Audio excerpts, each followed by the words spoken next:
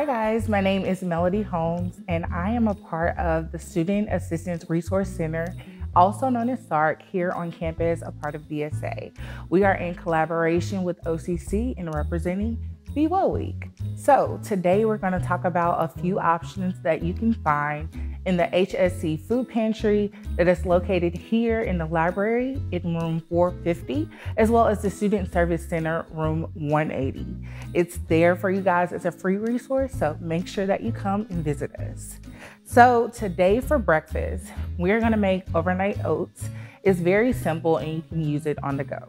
So the first thing you'll need and just talking about ingredients here, you're going to need your choice of oats, you're also going to need your choice, and this is optional as far as fruit. You can use canned fruit, you can use fruit cups, or you can use fresh fruit. We have optional cinnamon and optional honey because I like mine a little sweet.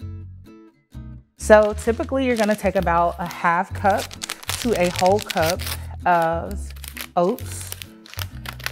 I prefer using a mason jar.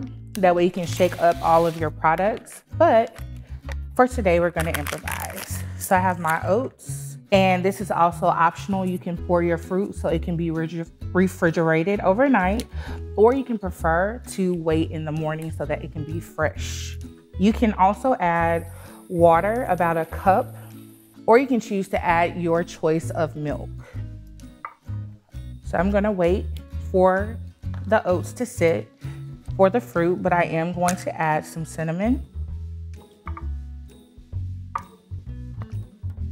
as well as some honey.